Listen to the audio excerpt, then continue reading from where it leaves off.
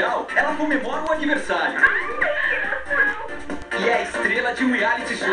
Ou pelo menos é o que ela pensa, né? Porque esse reality está com outras intenções. O que acontece é que eu quero provar que as bruxas existem. Eu não sou muito amiga da Matilda, sabe? Eu não acho que ela queira me ver na filmagem. Matilda hein? Quero meus 16. Próxima quinta, só na Nickelodeon. É tal você ver todas as novidades da Nick no seu celular